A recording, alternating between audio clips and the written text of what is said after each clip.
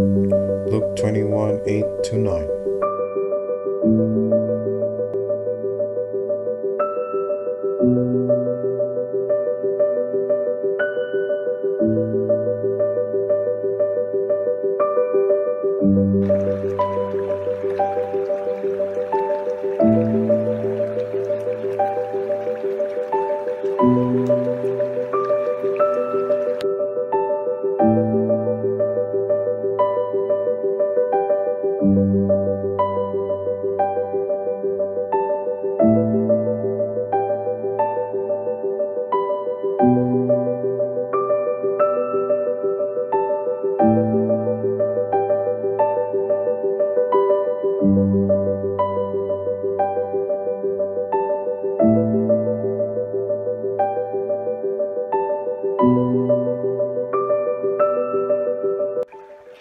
Take heed that you not be deceived, for many will come in my name, saying, I am he, and the time has drawn near.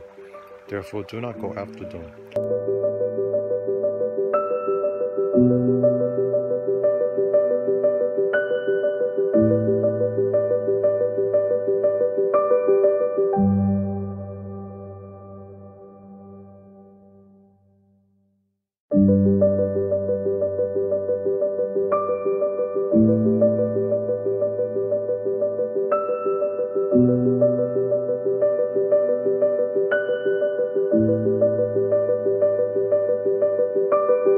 But